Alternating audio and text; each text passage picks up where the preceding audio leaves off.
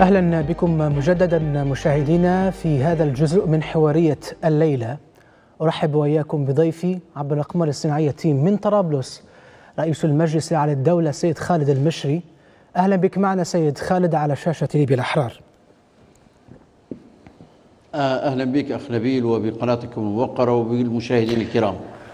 دعني أبدأ معك بمعرفة تقييمك ونظرتك لما جرى اليوم في العاصمة طرابلس. وأيضا زد عليه تصريحات الرئيسين بشاغة ودبيبة. كيف رأيتها؟ بسم الله الحمد لله والصلاة والسلام على رسول الله، اولا نسأل الله سبحانه وتعالى أن يحفظ ليبيا من كل المؤامرات والفتن اللي قاعدة تحاكلها وأن يحفظ طرابلس وأهل طرابلس من من هذه الفتن العاصمة. طبعا اليوم استيقظنا جميعا على الخبر المفجع اللي هو محاولة دخول السيد فتحي بشاغة لمدينة طرابلس وممارسة المهام من طرابلس. السيد فتحي يعلم جيدا أن هذه الحكومة هي حكومة محل نزاع كبير وبالتالي محاولة الدخول إلى طرابلس بدون الوصول إلى حالة توافقية قبل الدخول هو نوع من فرض أمر واقع مرفوض. وهو يعلم جيدا أن هذا الأمر كان ممكن أن يواجه بالقوة وبالتالي فيه تعريض لحياة المدنيين للخطر. فيه تعريض لحياة العديد من المقاتلين للخطر. فيه إثارة للفتن. نحن نرفض رفضا قاطعا هذا النهج الذي اتخذه السيد فتحي بشاغة. هذه الحكومة علينا عندنا عندنا عليها ملاحظات سواء من ناحية إجرائية في تكوينها وتشكيلها سواء من ناحية تركيبة الحكومة من ناحية الوزراء. وقلنا هذا الكلام علنا. نحن مع أي حالة توافقية في البلد لكن أن تكون توافقية حقيقية وليست مغالبة وهذه الحكومة أقرب إلى حالة المغالبة. كذلك نؤكد أننا لا نتشبث بالحكومة القائمة وأن لدينا العديد من الملاحظات على الحكومة القائمة وأن العملية للأسف الشديد كأن أصبحت يعني عند البعض يقول لك والله أنت مع فتحي ولا مع عبد الحميد؟ كأن الأهلي والاتحاد كأنها مباراة. إحنا مع ليبيا مع الوطن. إحنا الآن مع أي نهج يوصلنا للانتخابات. طيب وك... طبعا لما خرج السيد عبد الحميد بيبة نعم. سأسمح لي تفضل. قال إن هذه الحكومة هي الضمان الوحيد لإجراء الانتخابات. وأنا أسمح لي يا سيد عبد الحميد هذا الكلام غير صحيح مع كامل الاحترام والتقدير. هذه الحكومة اللي ما تستطيعش إن تفرض سيطرتها جنوب غريان ب 100 كيلو ولا غرب مصراتة ب 100 كيلو وعندها مشاكل في المنطقة الغربية لا تستطيع أن تقوم بالانتخابات. الحكومة التي ستجرى في ظلها الانتخابات يجب أن تكون حكومة فيها على الأقل حد أدنى من التوافق. ما بين مجلس الدولة ومجلس النواب وما بين القوى السياسية والأمنية الأخرى الموجودة في المنطقة الشرقية والغربية وأيضا نوع من القبول الدولي وعدم الاستئثار من طرف من الأطراف الدولية الإقليمية المؤثرة في المشهد الليبي. وهنا أخص طرفين مصر وتركيا. لو مجلس النواب ومصر شكلوا حكومة لن تستطيع إن هي تفرض سيطرة حقيقية على كل ليبيا وتقوم بانتخابات. وهو مشابه للحالة اللي موجود فيها حكومة السيد فتحي بشاغة ولو تركيا ومجلس الدولة شكلوا حكومة أو تشبثوا بحكومة بدون توافق مع الأطراف الأخرى لن تستطيع أن تفرض سيطرتها على كل ليبيا أو, أو, أو تحقق الحالة. طبعا البعض الآن بيجي يقول لك ندخل تركيا ومصر؟ وإحنا خلينا نحكوا على الشأن الليبي كليبيين. نعم الشأن الليبي يهم الليبيين لكن هناك دول متداخلة في الشأن الليبي وعندها مخاوف وموجودة على الأرض بشكل مؤثر. الكلام الواضح الناس الآن تبي الكلام المنمق الكلام اللي يحكي على حالة مثالية وغير حقيقية. الحالة الحقيقية أن مصر عندها تأثير في المشهد الليبي وأن تركيا عندها تأثير في المشهد الليبي. وأن هذم عندهم مصالح متداخلة مع المصالح الليبية وأن لابد من وجود حالة توافق محلي وإقليمي وبرعاية دولية للوصول إلى الانتخابات أما الحكومة واحدة تمثل شق معين لا يمكن أن تكون ضامنة للشعب الليبي لإجراء الانتخابات ما الذي تحاول التلميح وبالتالي إليه؟ نحن نرفض رفضا قاطعا ما الذي تحاول التلميح إليه عندما آه، تتحدث بشكل نوع من الحياد ربما انتقدت بشاغة في في حديث لا، لا. آه حتى أقول لك أوضح لك سيد خالد. انتقدت بشاغة في سياق هذا نعم، الدخول نعم، إلى العاصمة طرابلس وتحدث عن عبد الحميد دبيبة وأن حكومته اليوم لا تستطيع السيطرة بالمجمل وضربت أمثلة بمدن ومناطق آه، آه، معينة. هذا هو الواقع وهناك تنازع على الشرعية. وبالتالي الح- الحل إلى أين تريد؟ نعم. إلى ماذا تريد أن ترمي بهذه التوصيفات التي أطلقتها؟ الحل كالآتي. شوف أولا ال- حالة الصراع في ليبيا ما زالت حالة مستمرة. وحالة الصراع هذه المستمرة فيها استقطاب حاد. وهذا الاستقطاب الحاد أيضا فيه تأثير إقليمي لدول مهمة.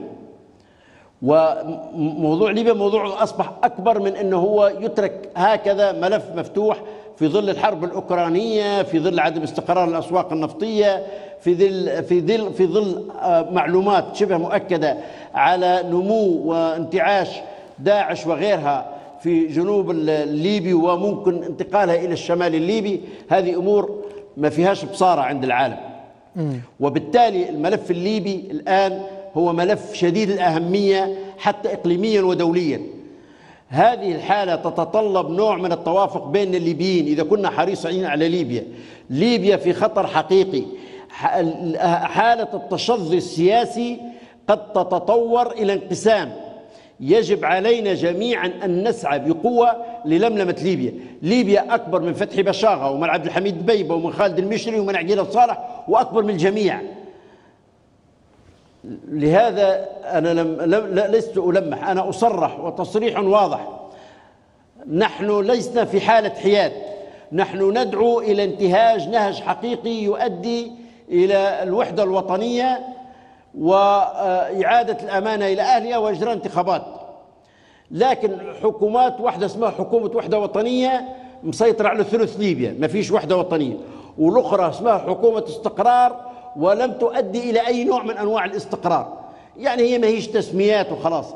الحل يكمل الحل يكمل في آه، التوافق على القاعدة الدستورية وتشكيل حكومة محايدة مصغرة بمدة قصيرة هدفها الوحيد الوحيد هو إجراء الانتخابات.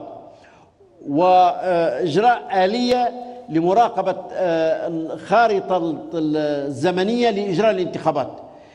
غير هيك حنقعد ندوروا في حلقة مفرغة ونبدو في آه، والله هذا سكر النفط هذا سكر المية هذا سكر ال- ال- ال- الأجواء بين ليبيا في بعضها البعض وندخل في حالة نزاع. إحنا يجب علينا الآن في مرحلة تاريخية ما فيهاش مجاملة. أنا من ناحية شخصية نحترم السيد عبد الحميد بيبة ونحترم السيد فتحي بشاغة وزي ما احترمنا السيد فايز السراج وزي ما احترمنا قبلهم كل الوزراء إسماعيل زيدان ولا الكيب الله يرحمه. لكن ليبيا الآن في مرحلة مفصلية مرحلة مهمة. علينا جميعا أن نقف لبلادنا. أن إحنا ننظر نظرة حقيقية. وبالتالي ما حدث البارحة هو حدث مأساوي. يعني للأسف إحنا فرحنا لما جاء السيد عبد الحميد بيبة وقال أنتم كلكم يا الاولين راكم كنتوا تديروا في حروب. إحنا بنسكروا الحروب. ليبيا ما عادش فيها حرب. من عهدنا ما عادش في حرب. وقلنا بقى كويس إحنا أعطينا هالعام ولا العام ونص ما فيش حرب. بدأ على أبسط شيء نجوا نحكوا على حروب حروب. كل الحروب فرضت علينا وقلناها هذا الكلام. الآن حتى هو يقول هذه الحرب فرضت علي. إذا تفهم الموقف اللي إحنا كنا فيه. الآن الآن الحل هو الذهاب إلى انتخابات بمسار حقيقي. للأسف الشديد وأنا أقولها بكل مرارة ويجب أن يتحملنا الحكومة الحالية. المسار اللي تحاول أن تسير فيه الحكومة أن هي تقول كحكومة تنفيذية بتدير قاعدة تشريعية من خلال وزارة العدل بتدير قوانين انتخابية وبتدير انتخابات تشرف عليها هي. هذه مشابهة للحالة التي آه، آه، قائمة في دولة الجوار. وهذه الحالة غير ممكن أن تكون في ليبيا. ليبيا مش تونس. ليبيا فيها ثورة مسلحة آه، فيه توازن القوة فيها أكبر بكثير من دول من دولة زي دولة تونس. نعم. وبالتالي لابد من البحث عن توافق حقيقي وعن خارطة طريق توصلنا للانتخابات بشكل صحيح. نعم. عنوان الانتخابات لا يجادلك في أحد سيد خالد المشري. آه، آه، وذهاب الليبيين إلى صناديق الاقتراع. لكن الآلية التي سنذهب بها إلى ذلك أي أين هي؟ اليوم أنت تعرف هناك تنازع حول آه، الشرعية بالنسبة بين الحكومتين. وبالتالي عندما تتحدث عن حكومة جديدة مصغرة هذه دعوة أحادية منك أم ربما بتشاور مع النواب؟ آه، أو حتى من خلال ما, ما أشيع عن لقاء بينك وبين عقيلة صالح في القاهرة. تفضل. شوف شوف إحنا إحنا ما عندناش شيء مدسوس. كل شيء على الطاولة وبوضوح. إحنا الآن عندنا مسار اللي هو مسار الدستوري. المسار الدستوري الذي نسأل الله سبحانه أن ينجح. وللأسف الشديد تشن عليه حملة إعلامية شديدة شرسة كأنه يعني محاولة سيطرة الجسمين. يعني الآن لما بعض الإعلاميين اللي محسوبين على الحكومة مثلا حكومة الوحدة الوطنية حكومة السيد عبد الحميد بيبة يشيطنوا في أي اتصال مع مجلس النواب. باي عبد الحميد بيبة ما هو مشي لمجلس النواب في طبرق ومشى لهم في في سرت ومشى لهم في القبة وخدي منهم الثقة الثقة ما أعطوها لها مجلس النواب. في الوقت ذاك ما همش الشياطين والآن ولوا شياطين يعني هؤلاء الجسمين مع ترهلهم ومع عدم قناعتنا بوجودهم نتيجة الزمن لكن ما زالت هي الأجسام الأكثر شرعية. لكن حكومة تأتي من خلال توافق بين بعض الأشخاص بعضهم اختير بطريقة غامضة. وبعدين تأخذ الثقة من مجلس النواب ترفض مجلس النواب وترفض التعامل مع كل الأجسام الأخرى وتدعي الشرعية. وهذه الحكومة وإحنا إحنا الآن نتكلم بشفافية. لما لما قلنا أن هذه الحكومة قرارها أنا ما نحكيش في كلام لا مع ولا ضد. حكومة السيد عبد الحميد بيبة قرار إعطائها الثقة إلى 24 ديسمبر. بقى انتهي 24 ديسمبر. بقى هي جت بخارطة طريق معينة. إذا الآن يا يا يا أخوة إحنا لسنا مع هذا الطرف أو ذاك. إحنا الآن مع الخروج من المشهد اللي قاعد الدائرة مغلقة وقد تؤدي مع تراكمات الزمن إلى آه، آه، انقسام في البلد أو حروب أخرى أو غير ذلك. ليبيا أكبر منا جميعا. نتوافق على قاعدة دستورية تشكل حكومة مصغرة عدد بسيط من الوزراء 14 إلى 18 مثلا. هذه ما فيش فيها توافق مع حد. أفكار نطرح فيها أنا. هذه الحكومة المصغرة يكون عندها هدف واحد وهو إجراء الانتخابات. تشكل هيئة عليا لمتابعة الانتخابات. هذه الهيئة العليا فيها مجلس النواب مجلس الدولة فيها الحكومة فيها القضاء وفيها الهيئة هيئة الانتخابات. تقدم تقرير للليبيين كل كل أسبوع مثلا أو كل كذا. خارطة الزمن بتاعنا راي مثلا أربع شهور خمسة شهور شن درنا فيها. زي لما واحد يبدأ مشروع ويبدأ حاط الزمن بتاع فتح المشروع وكل يوم ينقص يقول هذا أنجزنا. أنجزنا الخارطة. يجب أن نشتغل تحت ضغط الرقابة الشعبية وأن نشتغل لهذا الهدف. غير هذا الهدف أراه كلام فارغ. الحكومات اللي موجودة الزوز سواء حكومة عبد الحميد بيبة ولا حكومة فتحي بشاغة والله ما عندها نية تدير انتخابات حتى بعد خمس سنوات. آه. لكن لماذا لا يتم الذهاب مباشرة إلى الانتخابات؟ آه آه وبدل الحديث عن حكومة أخرى تزيد المشهد تعقيد. لأنه بحثك ربما عن مسألة التوافق قد لا يتحقق بالشكل المطلوب. آه, آه، قيل على أنه كيف بتدير الانتخابات؟ اعطينا أنا لا أقدم حلول يا سيد خالد المشري. نمشي خطوة عملية. أنا لا أقدم حلول أنا أطرح نعم، أسئلة نعم. نعم وسيناريوهات. نعم نتناقش. أي نعم. آآ آه، آآ آه، آه، تمام. الحكومة ربما يقول لك البعض يطرح فكرة أنه كل حكومة مسؤولة على منطقة معينة قد تؤمن الانتخابات وتجريها في المنطقة الجغرافية التي تديرها. أو بالاستمرار أو بالإبقاء على هذه الحكومة. غير عملي وغير واقعي. شوف إذا كان لما تجي تقول هذه الحكومة كل حكومة مش معترفة بالحكومة الأخرى. هي حك هو حكومة واحدة وفيه دائما طعن في نتائج الانتخابات خاصة في حالات النزاع.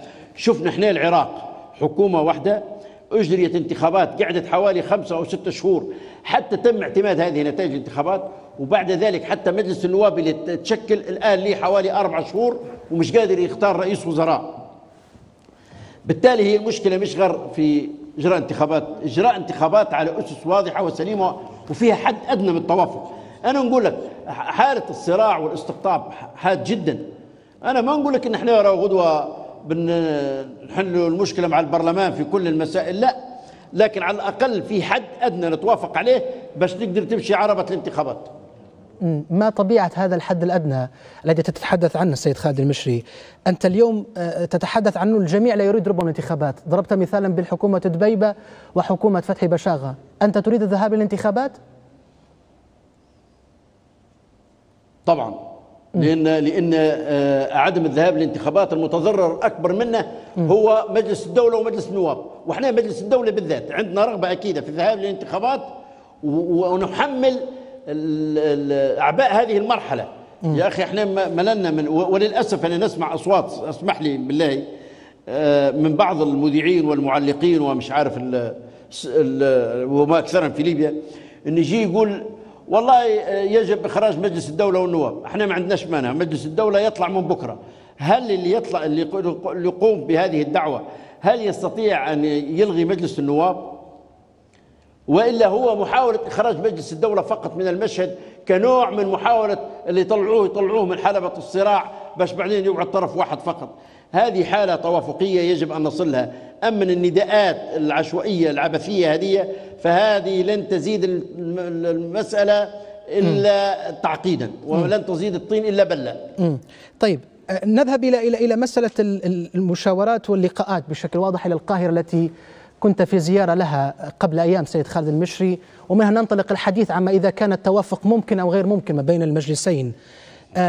جرى الحديث عن لقاء جمعك بعقيلة صالح آه، هناك في العاصمة المصرية القاهرة. إن كان الأمر كذلك بأي عنوان نضع هذا اللقاء؟ شوف إحنا الأمر واضح. الآن فيه لجنة من مجلس الدولة ومجلس النواب عقدة الاجتماع الأول والثاني والآن تعقد الاجتماع الثالث.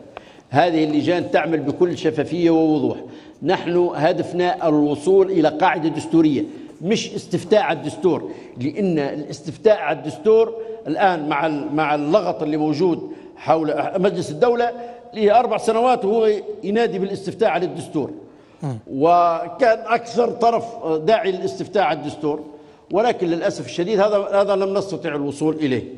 الآن نحن أمام مأزق ولما نجي نقولوا تعالوا راهو بنعدلوا مشروع الدستور يجي يقول لك مثل الهيئة التاسيسيه لا هذا ما عندكش الحق إنك تعدله وتعديله عن طريق الهيئة التاسيسيه أيضا أمر معقد.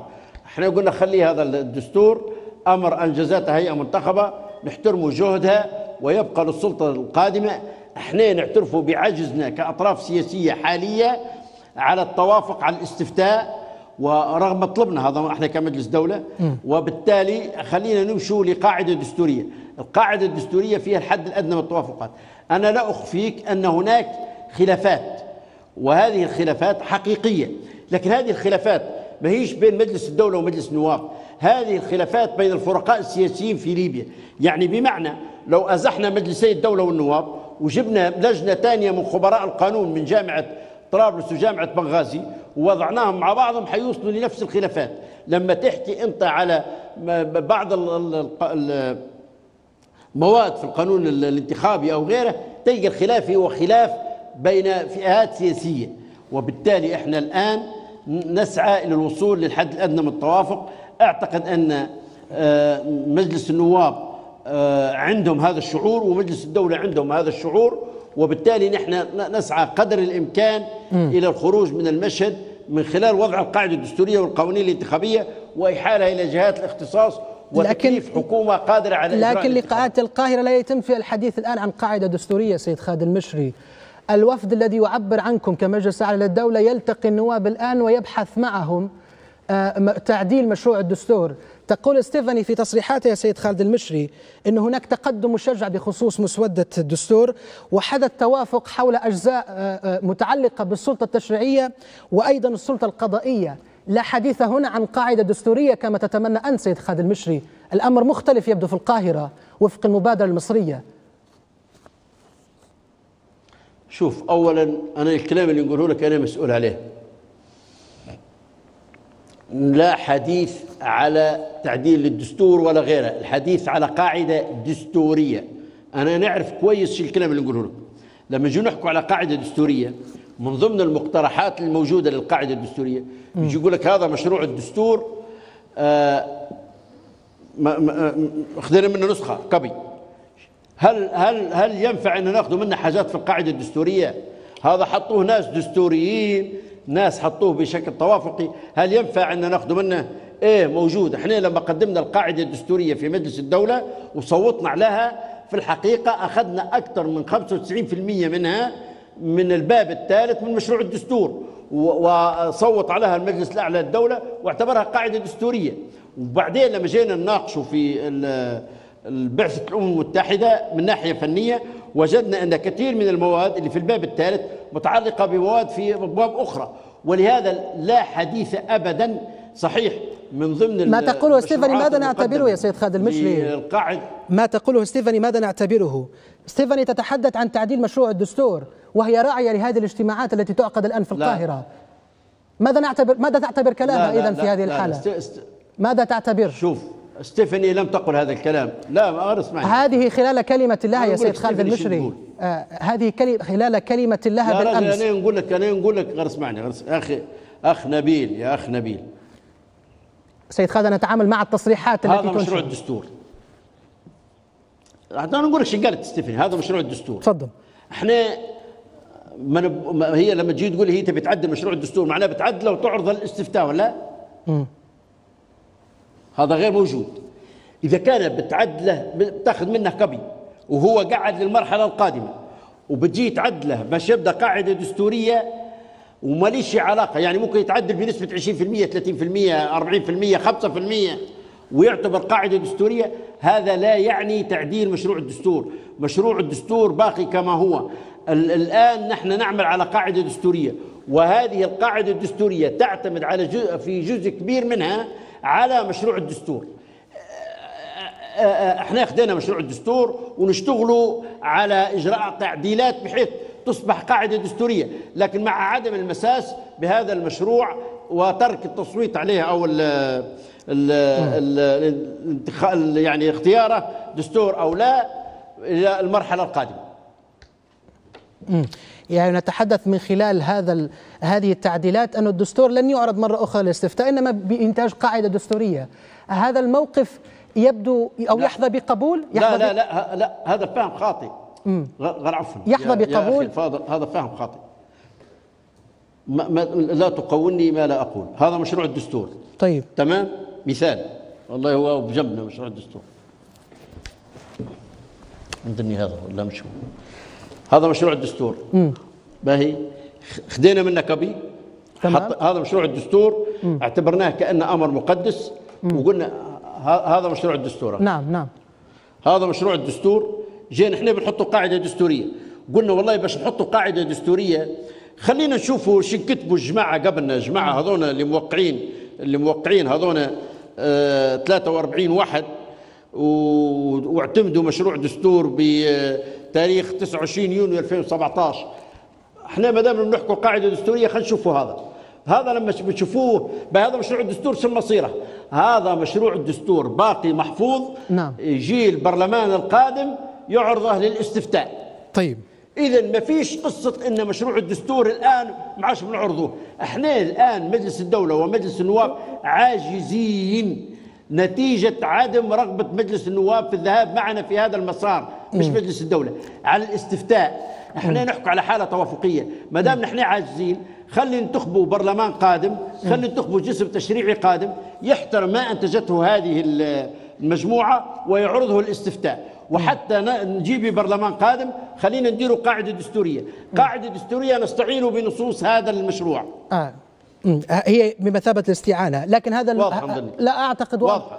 الآن تبدو واضحة أكثر. آه، وبالتالي سيد خالد المشري الآن عندما تتحدث عن إنتاج قاعدة دستورية هذا الأمر يحظى بقبول من قبل نعم. مجلس النواب على اعتبار أنه مرارا وتكرارا كان يكرر أنه التعديل الدستوري الثاني عشر هو أساس دستوري حتى أنه لم يلتحق باجتماعات تونس لا لا لا شوف هذا لا يعني التعديل 12 تعديل 12 يتحدث عن لجنة من خبراء ليس من أعضاء المجلسين يتحدث على مقره بنغازي آه سوري البيضة ويتحدث على تعديل الدستور ثم عرضها على الاستفتاء وإذا كانت النتيجة بلاء مش عارف إيش وإذا كان وهذا كله غير موجود الآن. إحنا نتحدث تخلى عنه مجلس النواب تخلى عنه. في اجتماعات القاهرة تخلى عنه. والله هذه أسأل عليها مجلس النواب. لكن أسأل ألو... الوفد الذي يلتقي آه، الوفد الذي يلتقي به آه، آه، من يمثل مجلسكم يجلسون للتفاوض حول التعديل نعم. الدستوري أم لإنتاج قاعدة دستورية؟ ما ما هو موقف النواب في هذه الحالة؟ نحن نحن نحن نتفاوض لقاعدة دستورية. امم ولن ول... نقبل بغير ذلك. والى أين وصل هذا التفاوض؟ والله طبعا أنت تعرف إن في بعض النصوص يعني آه، فيها خلاف. يعني لما نتحدث مثلا على الجزء التشريع القادم من غرفتين طبعا نحن ندعو إن كل الأجسام التنفيذية والتشريعية والقضائية زي أي دولة في العالم تكون في العاصمة. للأسف مشروع الدستور هذا ما قسم حتى المؤسسات آه، حط السلطة التشريعية بغرفتيها في بنغازي وحط القضائية في سبها. وحط التنفيذية في طرابلس. هذا أمر ما هوش عملي ولا منطقي ولا مقبول. وهذا واحد من الخلافات مثلا. آه لكن إحنا الآن الطريقة اللي اشتغلوا بها اللجنتين خلينا نشوف شنو هي مواد الاتفاق في القاعدة الدستورية وشنو هي مواد الخلاف. وبعد ذلك آه نحيل للمجلسين مواد الخلاف وننظر رأي المجلسين لأن اللجنتين غير مخولتين باتخاذ أي قرار. آه، وبالتالي الملاحظات التي يبديها نعم. المجلس الأعلى للدولة غير مسألة آه، الغرف وغير ذلك أين تكمن ملاحظات المجلس تخوفاتها أن نسميها وما هي المواد التي يطالب ربما أن تدرج في هذه القاعدة المنتظرة إن رأت النور أولا هو آه، في حديث على الحكم المحلي وهذا مطلب للجنتين بس بدرجات متفاوتة وأن تكون هناك محافظات وأن المحافظات تكون مدسترة. يعني آه، زي ما تقول آه، مهام المحافظة والمحافظ نفسه شيني عنده من اختصاصات وربما بعض اختصاصات الرئيس تعطى للمحافظ وغير ذلك كنوع من الحكم المحلي مش الفيدرالية. بدل من بدل من الدولة المركزية نقولوا آه، وبدل من الفيدرالية نقولوا اللامركزية. اللي هي مثلا ليبيا 10 محافظات 15 محافظة 20 محافظة حسب ما يتم الاتفاق عليه بعدين.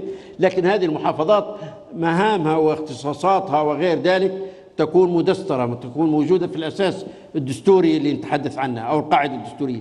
هذه مثلا من المسائل اللي أعتقد أن فيها إنجاز وإن كان فيها خلاف لعند وين أي درجة مثال يعني. آه، أنا لا أعتقد أن فيه خلافات أخرى آه، جذرية كبيرة. آه، متفائلين باحتمالية الوصول إلى حل آه، قبل منتصف الشهر القادم. هذا الحل آه، غير مسألة قاعدة دستورية و والأساس الدستوري للانتخابات القاعده الدستوريه القاعده الدستوريه نعم نعم. غير لا لا لا, لا القاعدة الدستورية نقصد. أنا أفهم ذلك. القاعدة الدستورية لكن أتحدث أمر عن الدعوة نعم. التي وجهتها من قبلك أنت في بداية حديثك حول الحكومة المصغرة. أعود بك إلى النقطة مرة أخرى. هل جرى الحديث بها مع عقيلة صالح؟ هذه خطوة لاحقة لا لا لا لا لا, لا. إحنا إحنا الحديث الحديث على المسار التنفيذي هذا الحديث مغلق في الوقت الحالي إلى حين الانتهاء من القاعدة الدستورية م. لما تبدأ عندنا قاعدة دستورية واضحة نجي نقولوا بنديروا انتخابات على هذه القاعدة الدستورية ونبوا حكومة في أجل أقصاها أربع شهور خمسة شهور تنجز لنا الانتخابات بناء على هذه القاعدة الدستورية. عملية التشكيل كيف ستتشكل هذه الحكومة؟ حكومة غرض منها فقط لا غير إجراء الانتخابات. يعني ما تكونش حكومة فيها وزير للشباب ووزير للرياضة ووزير ل كل واحدة بروحها يعني نقصد. ووزير مش عارف آه، الطاقه البحرية ومش عارف يعني تكون وزير حكومة مصغرة قدر الإمكان.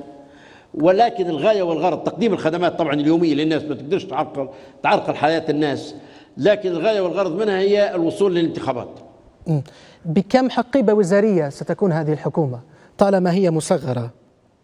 لا أنا غير عفوا هو اولا أنا لا أتحدث على أي رؤية للمجلس الأعلى للدولة ولا أي رؤية فيها اتفاق مع مجلس النواب ولا أي رؤية واضحة إحنا نحكي على أفكار الخروج من المشهد.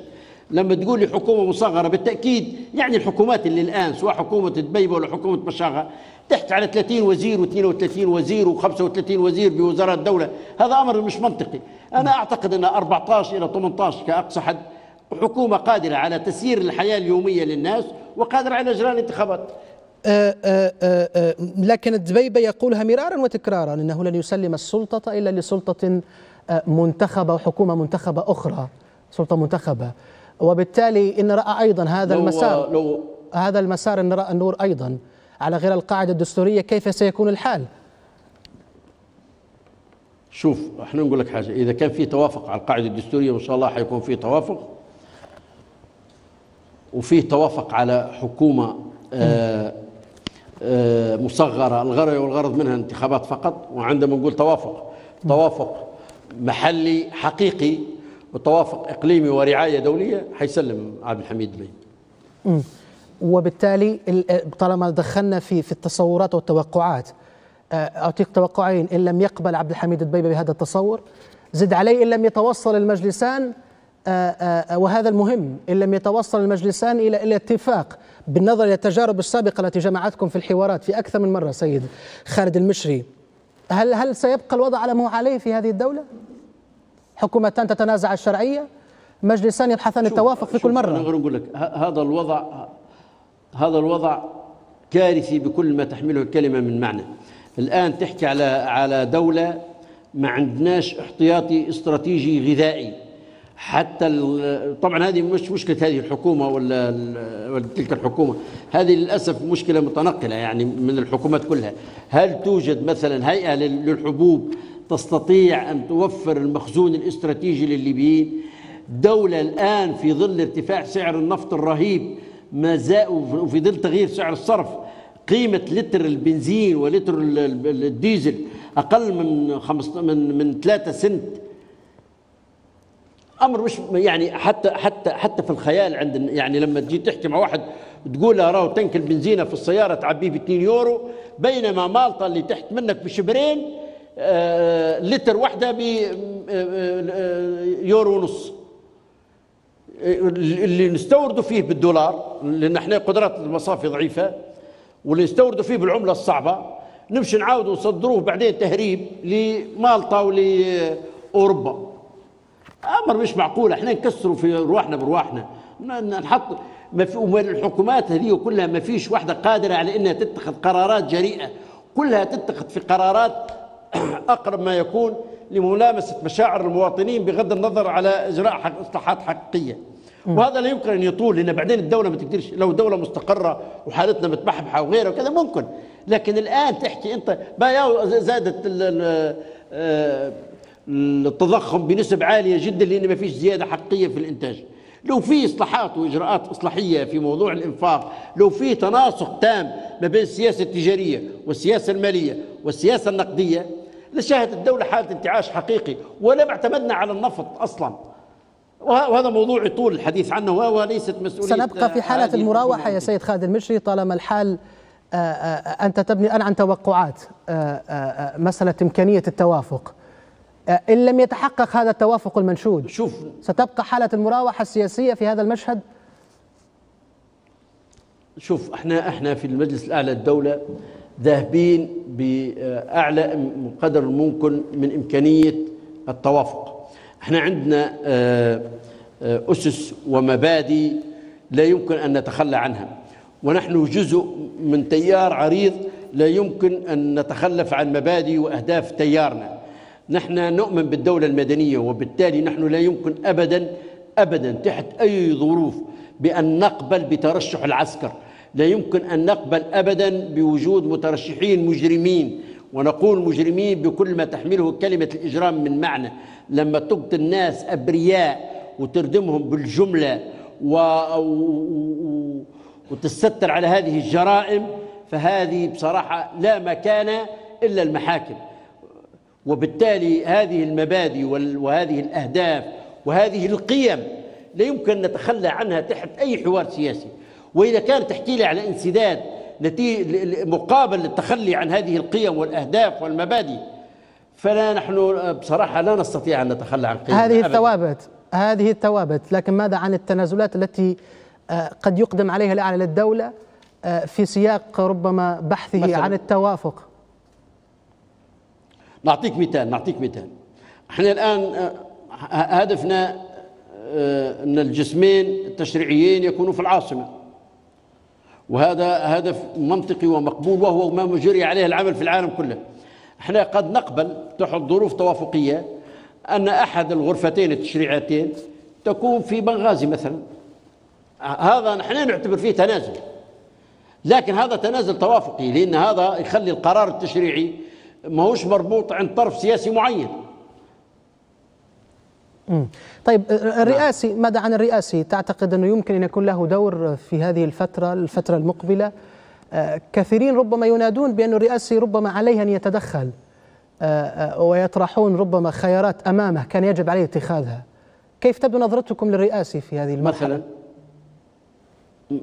ما هي الإجراءات مثلا؟ أن ينتج قاعدة دستورية من قبله طالما أن المجلسان لم يستطيعا التوافق وهذه يطرحونها كفرضية وبالتالي يحل هذا الخلاف ما بين المجلسين وينتج من هو الرئاسي هذه القاعدة المنتظرة. كيف ترى هذا الأمر؟ هو أنا خلي خلينا نقول لك حاجة. هل الخلاف ما بين المجلسين وإلا الخلاف ما بين التيارات السياسية الموجودة في ليبيا. الخلاف مش ما بين المجلسين. المجلسين بشكل بشكل أو بآخر يعبروا عن هذه التيارات السياسية. يعني حنعطيك مثال. بقى جاي غدوة المجلس الرئاسي ودار قاعدة دستورية وقال السلطة التشريعية يكون مقرها سبها ممكن الطرفين السياسيين يرفضوا. بالتالي انت انت الحديث على الخلاف ليس المشكلة مش في خلاف بين مجلسين. المشكلة أن في تيارين سياسيين في ليبيا. لابد أن يحدث نوع من التوافق في حده الأدنى. يصعب الآن الوصول إلى توافقات تامة. لكن لابد أن إحنا نتجاوز عمق الزجاجة للدخول للانتخابات طيب أه نتحدث عن هذه الزيارة إلى إلى إلى مصر أه, أه، والتي أيضا هي دعمت حكومة أه، فتحي بشاغة وأنت زرت مصر ومصر معروف موقفها في مساندة خليفة حفتر في عدوانه على العاصمة طرابلس. هل هل هناك تغير في الموقف المصري؟ وبالتالي يمكن أن نقول أن اليوم عقيلة صالح. والبرلمان آه، يمكن آه، أن يتفقوا معكم على أي قاعدة ربما دستورية أو غيرها من الملفات.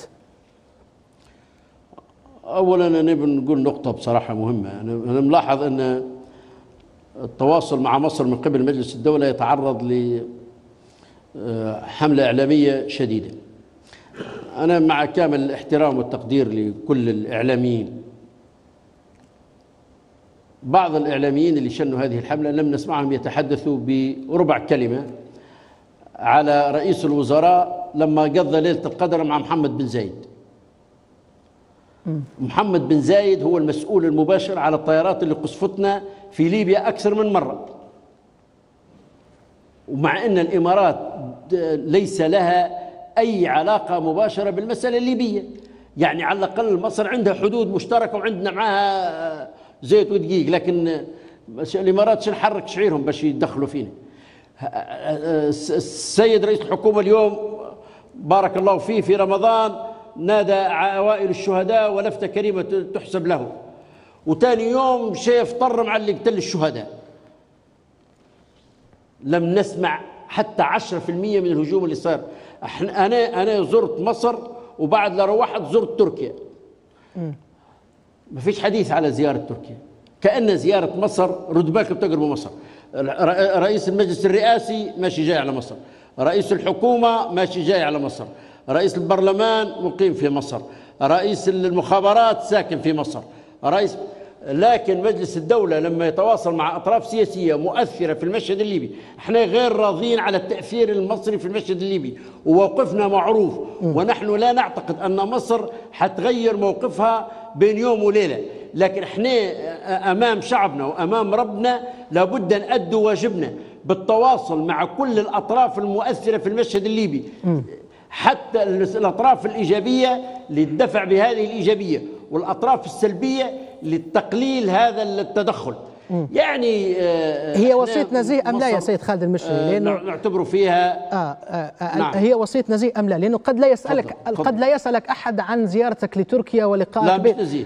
آه سأعود لك سأعود عفوا. آه. مصر مصر مصر ليست وسيط محايد. لكنها مصر ليست وسيط. أنا نتحدى أي واحد يقول أن مصر تدخلت بأي شكل في الحوار القائم في مصر. إحنا اعضائنا اللي مشوا المرة الأولى الغردقه وعددهم 12 تقريبا أو 15 وروحوا وقلنا لهم هل لاحظتم أي تدخل مباشر أو غير مباشر. قال لم نلاحظ. الآن أعضائنا مشوا وروحوا والآن هم موجودين غادي وتواصلوا معهم لم نلاحظ أي تدخل. وليكن في علمك قبل لا يمشوا كان عندنا شروط على البعثة. إذا كان في إمكانية للقاء في مصر فإنه لا لا أنا نسمعك سيد خالد المشي نسمعك نسمعك. نسمعك بشكل واضح سيد خالد.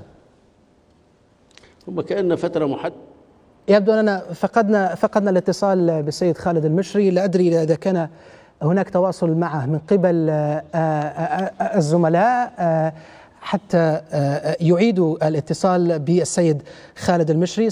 سيد خالد تسمعني؟ يبدو أن المشكلة ما زالت متواصلة في التواصل مع مع السيد خالد المشري آه، آه، والذي تحدث قبل قليل حول آه، مسألة التواصل مع مجلس النواب والمشاورات في العاصمة المصرية القاهرة. إذ أكد خالد المشري بأنه حديث أيضا عن حكومة فتحي باشاغا هي حكومة محل نزاع وأيضا هناك ودخولها بدون توافق هو فرض أمر واقع مرفوض. آه، يبدو أن السيد خالد المشري آه، آه، عاد إلينا مرة أخرى تسمعني الآن بشكل واضح سيد خالد؟ واضح واضح, واضح. آه. أعود بك للسؤال مرة أخرى مسألة لأنه فقط الفكرة لم تصلني بشكل كامل مسألة اليوم مصر نعم. اعتبارها وسيط نزيه أم لا ويسألونك كثير الكثر عن لماذا مصر ليست وسيط أه؟ طيب لماذا قبل الأعلى للدولة؟ مصر لماذا قبل الأعلى للدولة أن تكون المشاورات في القاهرة طالما يدرك مسبقا أن القاهرة ليست وسيطا نزيها؟ زد علي أن يكون المشاورات الأولى للجلسة الأولى تكون بحضور رئيس المخابرات عباس كامل.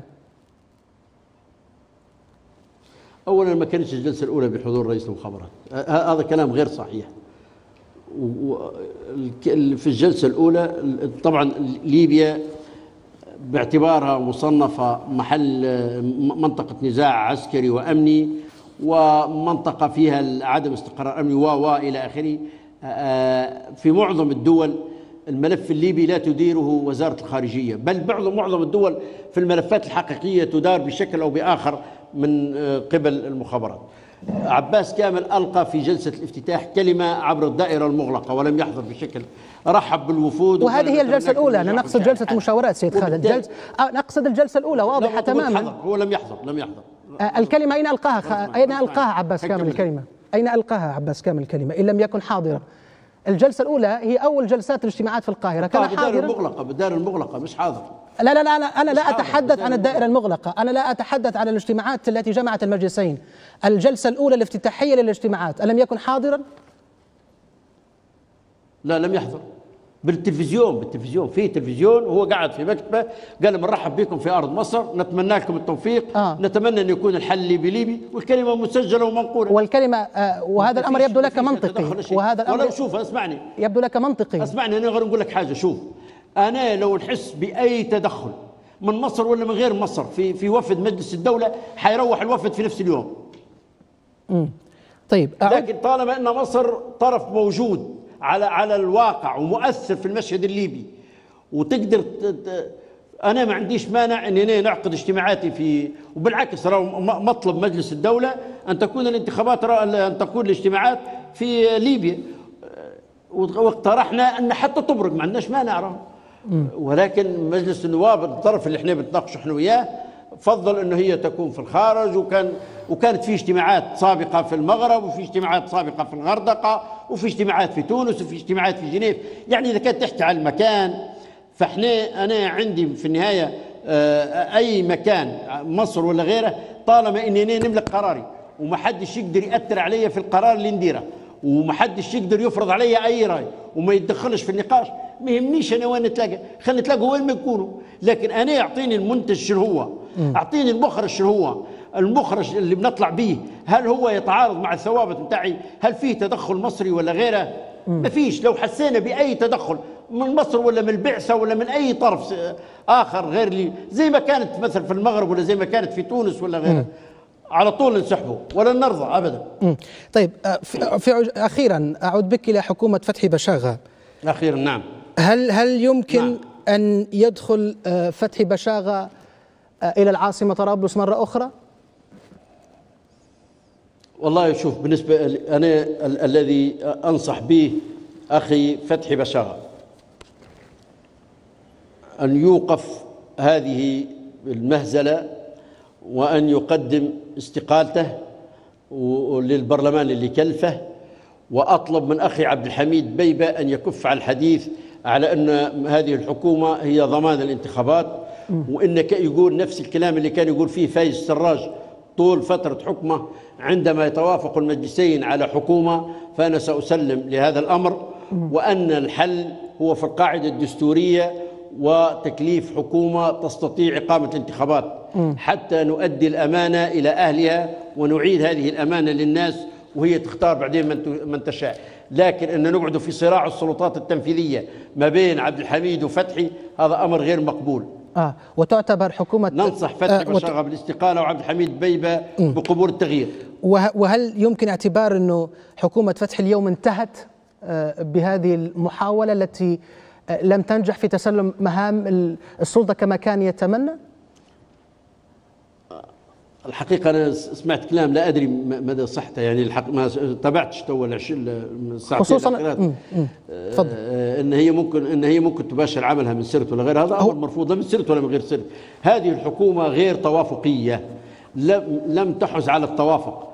بصراحة الأخ فتحي تشكيلة الحكومة وطريقة جبانها والآليات اللي تمت بها والتزكيات وغير ذلك ما كانتش شفافة وواضحة وسليمة. إذا كان فيه رغبة في الذهاب للانتخابات حقيقية عند السيد عبد الحميد وعند السيد فتحي عليهم أن يتركوا الساحة اثنين ويخلوا حكومة مصغرة الهدف منها إقامة الانتخابات بعد الاتفاق على القاعدة الدستورية. خيار البقاء في سرت كيف بدا لك في, في أخيرا؟ مرفوض جملة وتفصيلا شكلا ومضمونا وغير مقبول وبأي شكل من الأشكال. سرت نعتبره فيها محتلة الآن من قبل فاغنر. كيف تحطوا حكومه في سرت؟ بشاغة ولا غير بشاغة؟ العاصمة هي طرابلس. إحنا نبوا ليبيا دولة موحدة عاصمتها طرابلس.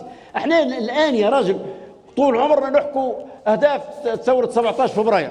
ويجب ويحلف يدي كل واحد لما يحط إيده على اليمين كل وزير يقول وأنا أحترم أهداف ومبادئ 17 فبراير. أهداف مبادئ 17 فبراير. ليبيا واحدة عاصمتها طرابلس. هذه هي هذه جزء من المبادئ اللي قمنا على خطرها إحنا لما طلعت الزاوية على بنغا... استجابة لنداء بنغازي تقول يا بنغازي ماشي بروحك إحنا ضمدين جروحك ليبيا واحدة. الصدى اللي طلع من البيضة وطبرق وبنغازي كان الرد بتاعها في طرابلس ومصراته والزيتان والزاوية وكل الغرب الليبي شكرا جزيلا لك رئيس واحدة ما فيش حد رئيس المجلس وعاصمتها طرابلس. رئيس المجلس الاعلى الدولة خالد المشري كنت معنا عبر الأقمار الصناعية من طرابلس. شكرا. شكرا جزيلا لك. شكرا شكرا شكرا. فاصل قصير نواصل بعده ما تبقى من حوارية الليلة.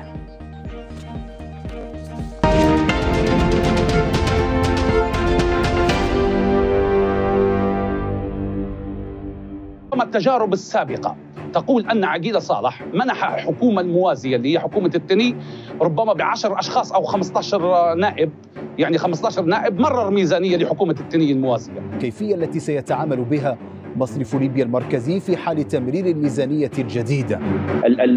المؤسسات المالية الثلاثة وعصب الاقتصاد الليبي موجودة في طرابلس. وبشكل فعلي ستنحاز إلى حكومة عبد الحميد الدبيبه أكثر من حكومة السيد فتحي بشار. وهل تملك الحكومة المكلفة أدوات مكافحة الفساد الذي أعلنت محاربته منذ تسميتها؟ طرابلس صراحة صفحة سوداء في تاريخنا وجرح ما زال مفتوح وما زال مفتوح، يعني علينا أن لا ننبش هذا الجرح حتى لا ينزف مرة أخرى صراحة. ولماذا خصصت لحفتر ميزانية مستقلة تتجاوز الثلاثة عشر مليار دينار بحسب البنود المسربة. أنت 14 مليار أو 15 مليار في الهواء هذه. يعني من غير ما نتحدثوا على البنود التفصيلية الأخرى هذه في يد خليفة حفتر. هذه التي سيسكتون بها خليفة حفتر كي يمرر هذه الحكومة.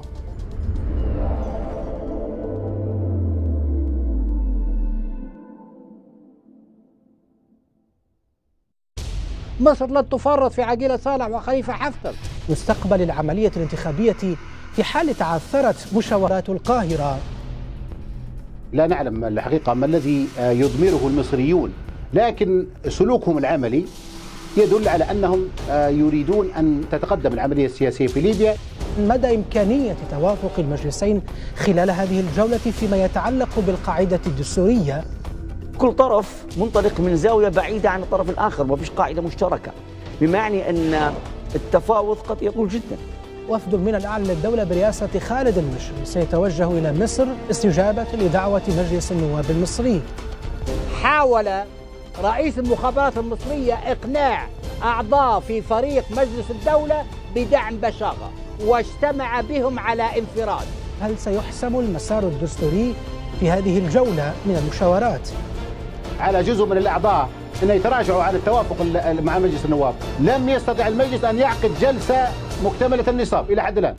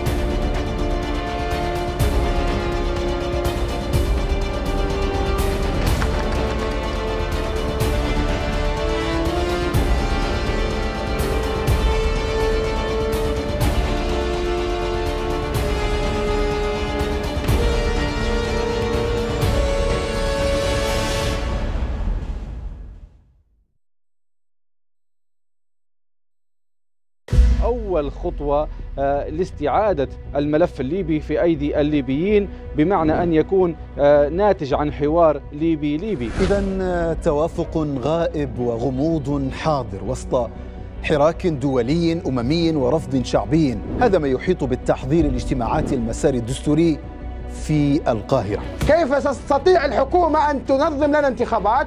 وفق خارطة الطريق وفق التعديل الدستوري الثاني عشر وقد وصل إلى طريق مسدود. كما أبرز السيناريوهات المحتملة وما انعكاساتها على المسار السياسي في ليبيا. العالم خمسة زي خمسة كانت صراحة كانت في كانت غير فعالة بشكل مناسب. المجلس الرئاسي صراحة كان غير قادر على تفعيل لجنة خمسة زي خمسة لاعتبارات سياسية.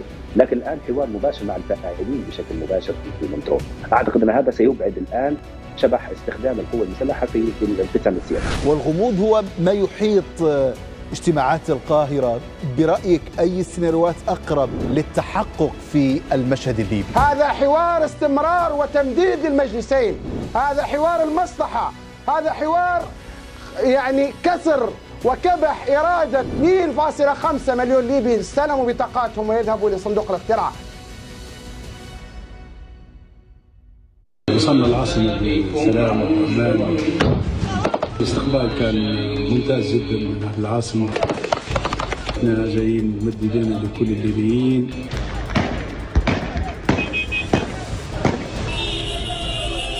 حتضو نضرب من البلكونة. هي الأوغاد اللي يجونا في عقبة الليل كسروا ويدمروا وقتلوا مدارهم. هي اللي هذا راس مالها. قاعدين صغار قاعدين يشوفوا غسلوا الحوش شوفوا الصغار في فايفين رصاصة. شو الإشكالية؟ يعني لازم نجيب سلاح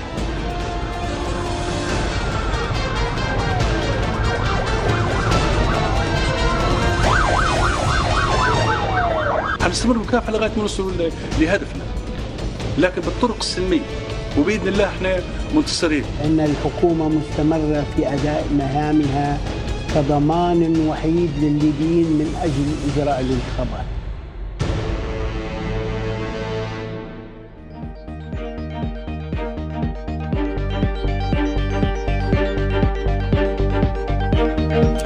إذا هي تطورات لها ما بعدها في ظل المسارات المفتوحة دون نتائج ملموسة. فماذا بعد الإدانات المحلية والدولية لتصاعد العنف الذي سببه دخول الحكومة المكلفة من البرلمان إلى العاصمة؟ وماذا بعد أن فوجئ باشاغا وحكومته بالتصعيد العسكري من قبل مجموعات مسلحة تابعة لحكومة الوحدة؟ نرحب بضيوفنا في حوار الليلة معنا عبر الأقمار الصناعية من طرابلس المستشار السياسي الأسبق للمجلس الأعلى للدولة سيد أشرف الشح وسينضم إلينا عبر سكايب لاحقا من تونس المحلل السياسي سيد السنوسي إسماعيل ومعنا هنا في الاستوديو الدكتور نزار كريكش مدير مركز بيان للدراسات. أهلا بكما ضيفي الكريمين. لعلي أبدأ معك سيد نزار حول فهم هذا الدخول من قبل فتح بشاغة إلى العاصمة طرابلس ربما ليلا ثم غادرها في, في, الصباح. كيف نفهم هذا التوقيت؟ ولماذا اختار الرجل هذا التوقيت تحديدا في اعتقادك؟ يعني بسم الله الرحمن الرحيم. أظن أن يعني محاولة إفضاء أي عقلانية على سلوك فتحي بشاغه غير صحيح. يعني بمعنى لا يوجد أي مبرر لهذا الفعل وأنه هو عبارة عن دخل في في في في تغذية راجعة سلبية. بمعنى أن كل طرف يعطي يحاول أن يرد على الطرف الآخر خرجنا من الاستقرار خرجنا من السلوك العقلاني إلى السلوك الغير عقلاني. وأصبح كل طرف يريد أن يثبت ذاته خاصة فتحي بشاغه السلوك غير عقلاني غير مبرر يأتي بأدوات هو يحاول رفضها. يعني أحيانا يقول لك أنا أريد أن أدخل سلميا ثم يستعمل السلاح. يريد أن يقضي على الميليشيات ويستعمل بعض الكتائب المسلحة للدخول للعاصمة. يتحدث عن الفساد وهو يمارس بالتأكيد كان في دفع أموال لمن ساعدوه في هذا الدخول. فبالتالي الآن هو دخل الأطراف النزاع في ليبيا إلى نوع من عدم العقلانية والفعل ورد الفعل. لذلك كل فعل الآن هو عبارة عن لإثبات الذات.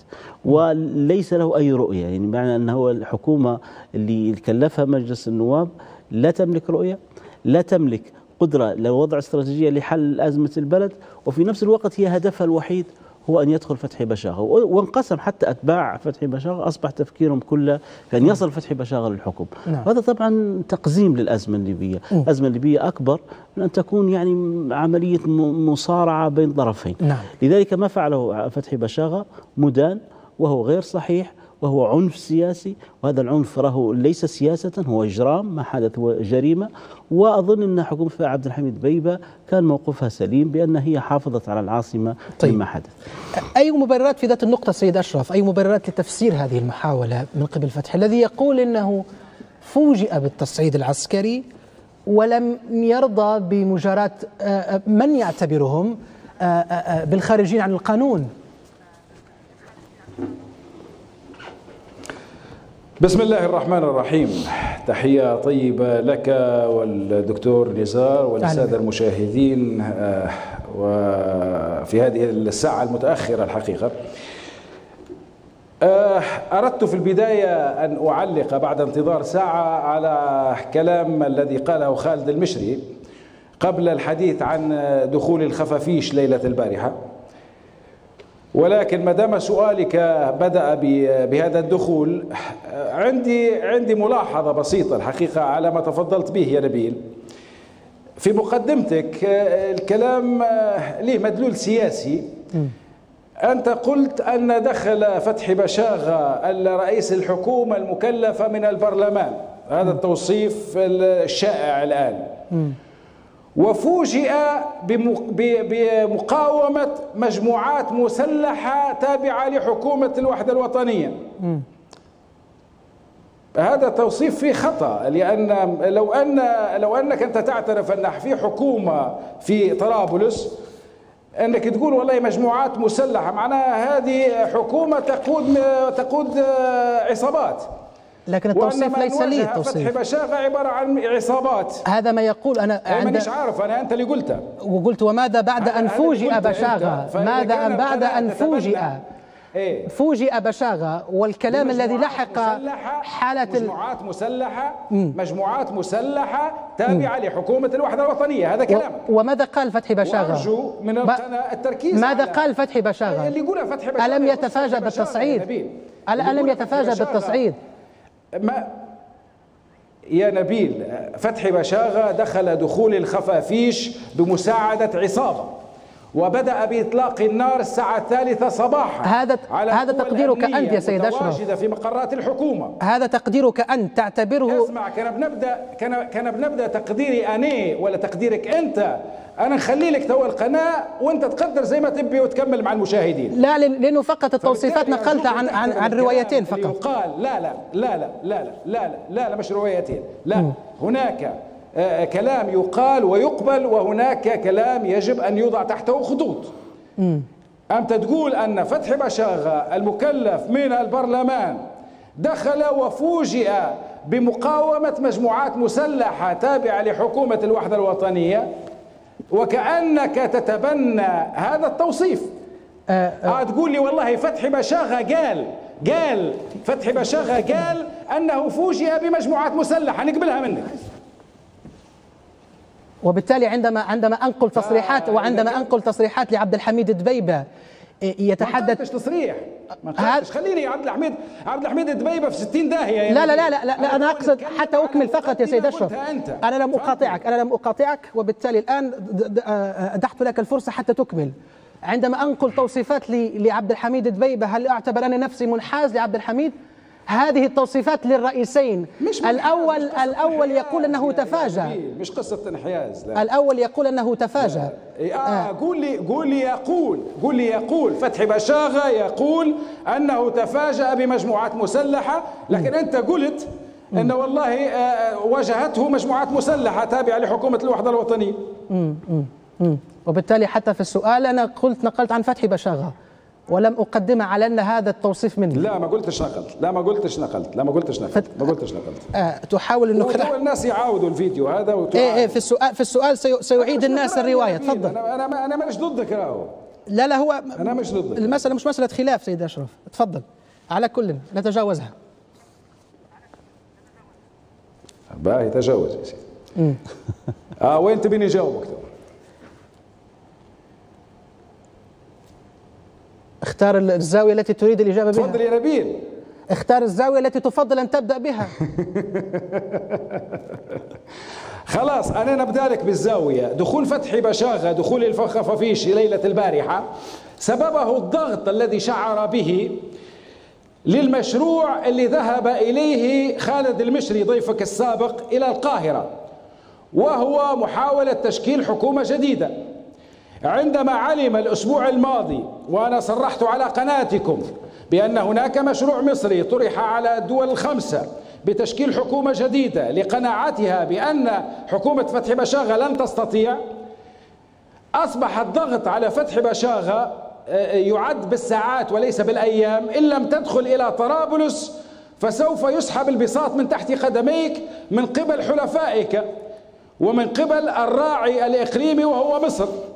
وما دعوة خالد المشري إلى القاهرة إلا لكي يسيل لعابه. واليوم صرح أمامكم صرح أمام الليبيين قال والله نبغى نشكلوا حكومة. و14 وزير. وهي الحكومة اللي ممكن تدير انتخابات. هو هذا الهدف. لذلك الصراع الآن اليوم خالد المشري يحاول الاستفادة من القفزة في الهواء التي قام بها فتحي بشاغة ليلة البارحة وأن يزيح الحكومتين كي يأتي هو وعقيلة بحكومة جديدة يختاروها ويضحكوا على الليبيين بقصة قاعدة دستورية وتو ندير لكم انتخابات إن شاء الله بعد سنة ولا بعد سنتين. هذه هذه هذا هو لب الموضوع.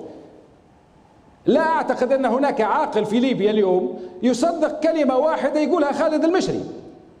أو يصدق آه، فتحي بشاغة بعد ما صدع رؤوسنا وقال والله أنا سوف لن لن أحكم إلا من خلال دخولي إلى العاصمة. أهو اليوم قال أني بنبدأ من سرت فبالتالي اليوم الحقيقة هي عبارة عن محاولة أطراف متعددة للبقاء في المشهد السياسي رغم إرادة الليبيين والتضحية بأمن الليبيين وبحياتهم. وليلة البارحة أكبر دليل. شخص يدخل في بعد الساعة الثالثة صباحا ويبدأ بإطلاق النار على المقرات الحكومية. وبعدها يقول والله تفاجأت. وعندما يحاصر يطلب الأمان ويطلب الخروج في ممر آمن ويكتب تعهد أنه سوف يعلن استقالته. وعندما يخرج ينقلب على هذا التعهد المشهد أصبح مشهد عبثي الحقيقة. أصبح المشهد آه، آه، مجموعة آه، من المراهقين الذين يعبثون بمستقبل هذا البلد وبمصير أبنائه وبدماء أبنائه. سنأتي إلى إلى نقطة ممارسة العمل الحكومة من سرت في سياق هذا حديثنا في هذه النافذة. لكن لو أردنا نفهم الأمر أكثر وتطورات دكتور نزار إلى إلى أين قد يتطور هذا التنازع على الشرعية مع تشبث الرئيسين بموقفهما الدبيبة يقول إنه لن يتسلم أو لن يسلم السلطة إلى سلطة منتخبة أخرى وأيضا فتحي بشاغة بأنه ربما لن يعود إلى العاصمة طرابلس إلا إذا تحصل على ضمانات فعلية بعدم إراقة الدماء وسيباشر العمل من سرت. والله هو والله هو الآن وقت الصدق يعني مش وقت تزويق الكلام يعني. والله بصراحة أرهق هؤلاء الناس. يعني فتحي بشاغة أخطأ وإجرام. هذه جزء من لما نقولوا إجرام لأن كان فيه قضايا أرهقت الناس إخافتهم وتدمير ممتلكاتهم. والحديث عن إن ما, ما يحدث في ليبيا الآن يعني حتى بعض المثقفين اللي هم وازنين في ليبيا كلهم يقولوا إن هذا ما, ما, ما يعني فيه نوع من السذاجة ونوع من الحمق ونوع من الرغبة في الوصول للسلطة بأي طريقة. فنحن الآن في حالة يعني الحكمة بالتجزئة والجنون بالجملة. ما يحدث هو جنون حقيقي. يعني يعني ما الذي سنستفيد منه إذا حكم بشاغة؟ ولا إذا يعني مثلا لما يكون المجلس الأعلى للدولة هو اللي يضع الدستور ويصر إنه هو والمجلس النواب إنه يسيطر على المشهد وبشاغة هم ان يصل إلى الحكم والطرف الآخر يريد أن يبقى في السلطة بأي طريقة ما الذي سنصل إليه؟ نحن الآن نحتاج إلى طرف ثالث. يعني ما فيش نزاع في النزاعات الدولية حل بالأطراف الغارقة فيها. لما نشوف مثلا كلام عبد خالد المشري هو غارق في المشهد ويريد أن يدافع عن نفسه. بشاغة يريد أن يقهر البيبة آه، عقيلة صالح يريد أن يفرض رأيه ويثبت سلطة كل الحديث كل طريقة التفكير طريقة الفعل هي طريقة ردود أفعال. طريقة ردود الأفعال هذه يعني حتى استراتيجيا حتى في في النزاعات الدولية هذه الدول تستفيد منها لأن الآن ردود الأفعال لفتحي بشغه ممكن أنا أتحكم في فتحي بشغه لأني أدرك ردود أفعاله. ممكن أتحكم في. أنت أنت في اللقاء خالد المشري ممكن اغضابه بكلمة منك يفقد لأنه هو غارق في هذا المشهد غارق في النزاع مع بعضهم البعض. لا يرون المشهد.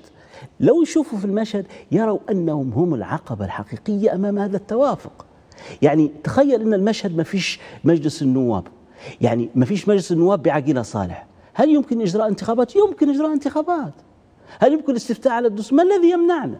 إذا كان أنت الآن خذ خذ مثلا في آه، يعني آه، استطلاع للرأي عبر وسائل التواصل الاجتماعي. هذا نوع من الاستطلاع بالرأي. نحن نقوم به في مركز بيان كل أسبوع.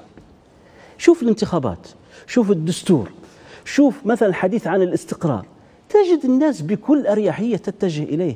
يعني بمعنى أن بدون وجود طرف ثالث وبدون محاولة المجلس الأعلى للدولة ومجلس النواب إما أن تمر المرحلة الانتقالية وهم يحملونها على أكتافهم وإلا لن يكون مرحلة انتقالية.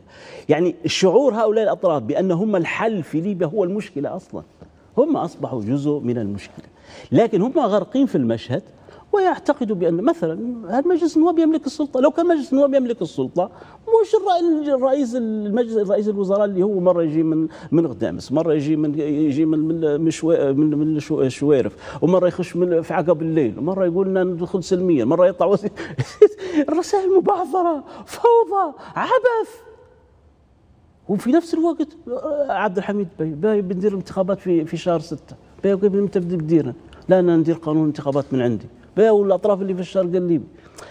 فلازم من طرف ثالث. لازم نفكر جميعا في طرف ثالث. طرف ثالث هذا أظن نعم. إنه هو إما أن يكون مجموعة من المثقفين والمفكرين الليبيين يضعوا قواعد دستورية ويتناقشوا مع الناس ويصبحوا من المرجعية على الأقل المؤقتة لكن في وجود هؤلاء هؤلاء قاعدين طيب. ندور في حلقة مفرغة آه، مع ما يجري سيد أشرف هل هل هناك أي فرصة اليوم نتحدث عن إمكانية آه، حوار آه، آه، يجمع الرجلين أو حتى الجهات ال- الداعمة لهم آه، ويكون هناك مساحة تجنب البلد وحتى العاصمة تحديدا الاحتكام للسلاح مرة أخرى.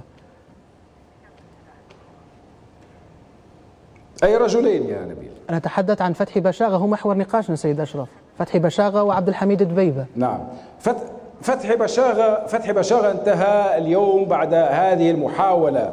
الإجرامية التي قام بها سياسيا سقط بعد سقوطه الأسابيع الماضية حتى دوليا آه، لأنه كذب آه، مقال صحيفة التايمز التي الذي كتبه بيده. وذلك ما سبب قبول الدول آه، الغربية للمقترح المصري في البدء فعليا في الحديث عن تشكيل حكومة جديدة آه، عندما اقترح المصريين أنهم مستعدين أن يستدعوا المشري إلى القاهرة وأنه قبل وأن هناك آه، آه، آه، مؤشرات إيجابية بأنه سوف يشارك في تشكيل الحكومة الجديدة والتي يمكن أن أن يقبلها كل الأطراف الفاعلة لأنها سوف تشرك فيها. ومن ثم شعر بذلك الضغط فتحي بشاغة وحاول بجنون الدخول متخفيا في ملابس كي لا تظهر ملامحه في سيارة مدنية حتى وصل إلى آه، قرب ذات العماد في طرابلس في مقر النواصي حليفه آه، قدور الذي دخله. وعندها بدأ العمل على السيطرة على مقرات الحكومة. عندما فشل كل ذلك وخرج انتهت ال- ال- المعادلة سياسيا بالنسبة لفتحي بشاغة اليوم يبدأ في العمل في سرت يبدأ في المريخ يبدأ في أنجمينة لن يكون له أي أثر لأن الحكومة ما هياش آه، آه، عبارة عن رئيس ووزراء. الحكومة هي أدوات هي مؤسسات هي أجهزة. إن لم تسيطر على كل ذلك فأنت عبارة عن مجموعة فريق زي فريق آه، بيلعب كورة ما ماليش أي قيمة.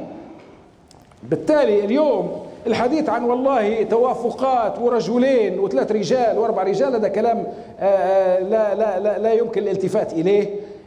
الكلام اليوم هو أننا لا نلدغ من نفس الجحر مرتين. خالد المشري قبل قليل قال والله آه، حكومة داروها في جنيف وأشخاص غير معروفين وجابوها هذه حكومة الدبيبة. ونسي أنه رشح نفسه في جنيف رشح نفسه لهؤلاء الأشخاص الغير معروفين الذين نحن لم نقبل بهم عند في وقتها. وكان يسعى أن يكون في مؤسسات الحكم في ذلك الوقت. هل ما زال في عاقل في ليبيا يصدق خالد المشري؟ وهو ما ما أنا لم أتوقعه بهذا الغباء. أنه ينسى أنه ينسى ال- الأحداث اللي اللي ما لهاش سنتين. يقول والله في جنيف كانوا أشخاص غير معروفين وجابوا حكومة وإحنا مجالس منتخبة وإحنا اللي بروحنا نقدروا والرئاسي ما يقدرش وعبد الحميد الدبيبة هذا لا يبقى في في السلطة وهو أن لي عشر سنين لم يتزحزح من على قلوب الليبيين. فقط أذكر آه، فقط أذكر بأنه أبدي تحفظي على توصيفك آه، آه، آه، للسيد خالد البشري كما ذكرت قبل قليل وذكرت هذه الكلمة وبالتالي أنت يحق لك ذلك لكن طالما أن الرجل غير موجود معنا فتوصيفه بالغباء هذا أمر يبدو غير مقبول بالنسبة لي. آه، أنت تحدد التوصيفات كما تريد لكن أنا لا أستطيع أن أمررها. آه، أنا لا أسمعك سيد أشرف. تعلق عليها يا نبيل. أنا نقولها وأنت علق إيه أنت تقول وأنا أتحفظ. سنستمر في هذه نعم في نعم. هذه الحالة إذا طيب آه، لا حفظ حفظ. وهو يرفع دعوة. آه، هذه يحددها هو. هذا اليوم أشرف مش آه. على بعض. هذه مش مش دوري. على كل. آه، سي- سيد لا أشرف على بعض يا نساء. بالعكس.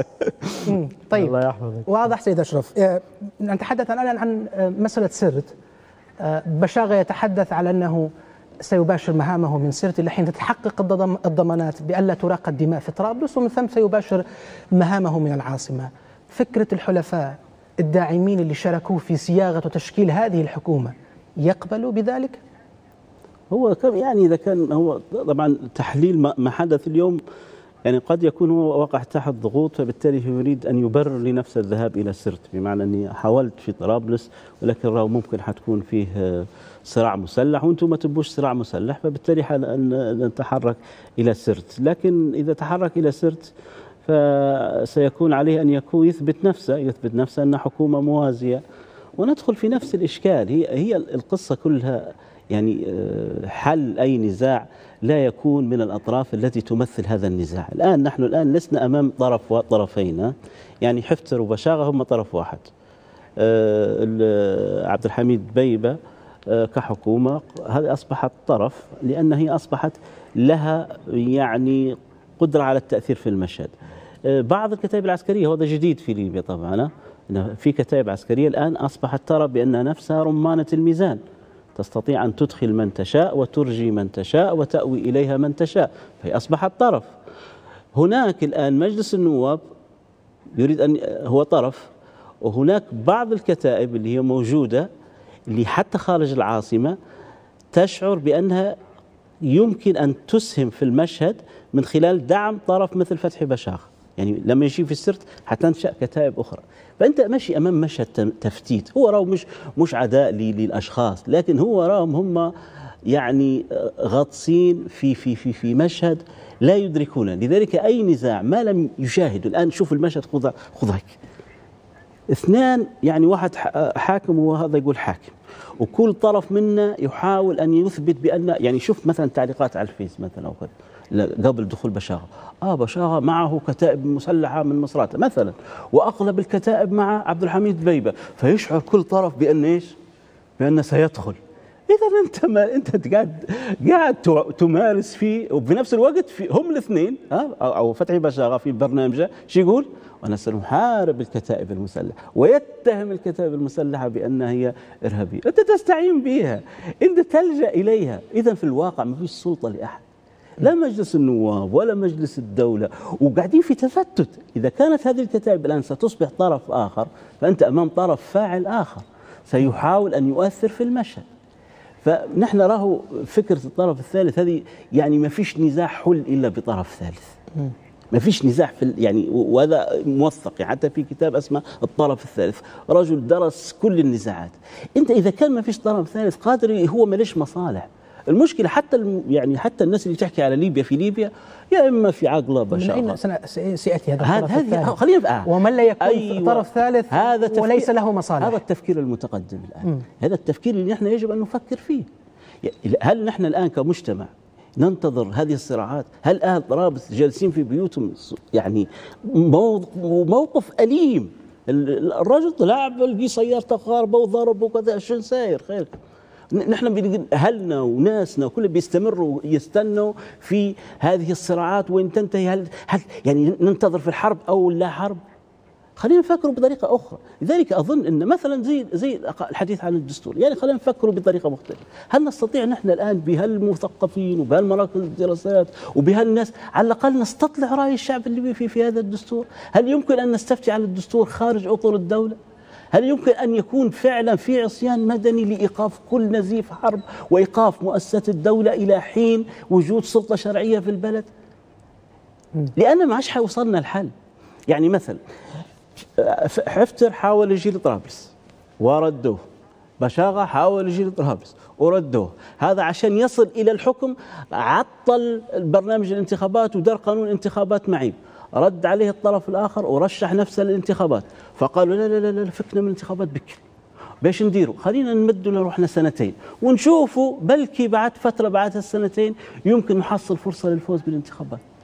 بهذا الم... يعني المشهد أصبح في ثلة قليلة نعم. تعتقد بأن لا شرعية وهي ليس لا شرعية انتخابية تريد أن تحرك هذا المشهد بينما الأكثرية تنتظر في, نتاج فعل ها- هذه الأقلية طيب. لذلك على هذه الأكثرية أن تنظم نفسها يكون في فعل حقيقي وإلا راهو حنجلس مثل هذه الجلسات كثيرا يعني. آه، النظرة الدولية سيد أشرف كيف ستبدو للحكومتين عندما نتحدث عن حكومة فتحي بشاغة الذي فشلت محاولته بالدخول وتسلم مهامه من العاصمة طرابلس وحديث دبيبة عن ما جرى آه، اليوم انطلاقا من من كلام السفارة الأمريكية التي قالت أنه يجب على القادة السياسيين أن يدركوا أن الاستيلاء على السلطة أو الاحتفاظ بها من خلال العنف لن يؤدي إلى إلا إلى إلحاق الضرر آه، بالشعب الليبي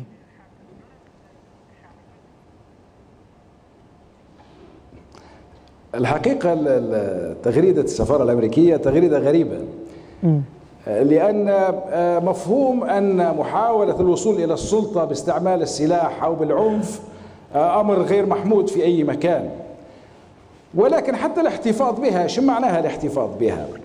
إذا كان هناك عملية ديمقراطية وأنتجت حكومة جديدة فال- فالمحتفظ بالسلطة في تلك الحالة يعتبر مغتصب لها ويجب أن لا يترك ويجب أن لا يسمح له. أما عندما يكون هناك هجوم غادر ودخول خفافيش بعد الثالثة صباحا ومحاولة باستعمال السلاح للسطو على مقرات الدولة هذا تهديد للأمن والاستقرار هذا محاولة انقلاب هذه محاولة لا تحظى بأي نوع من أنواع ال- الأخلاق آه، آه، حتى من الناحية الإنسانية. بالتالي آه، أن تحاول آه، السفارة الأمريكية أو غيرها أو أي تصريح مهما كان قائله بأن يحاول آه، استغلال مثل هذه الأحداث لكي يصفر الحالة الليبية ويظهرها وكأنها غابة وليس بها أحد وأنه يريد إعادة رسمها من جديد هذا أمر غير مقبول وغير منطقي الحقيقة. لا يستطيعون أن يقولوه حتى في آه، دول آه، أمريكا اللاتينية أو دول صغيرة في أفريقيا. ولكن للأسف لأن من يتصدرون المشهد في ليبيا آه، زي خالد المشري وعقيلة صالح آه، يذهبون بأول دعوة آه، لكي يتقاسموا آه، المغانم.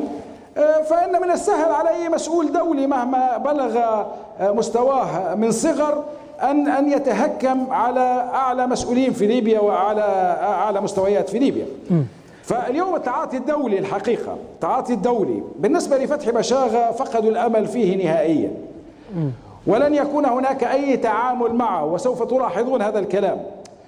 سوف ينتظر خاصة الغربيين ما سوف يصل له المصريين من خلال آه، الصفقة التي يحاولون تمريرها من خلال عقيلة صالح والمشري. إن نجحوا ولا أعتقد أنهم سينجحوا في الوقت القريب لأن لأن المشكلة لديهم عندما يدخلوا في الأسماء تعرف أن مسألة الأسماء هي المسألة التي تعطل والتي يحدث فيها خلاف.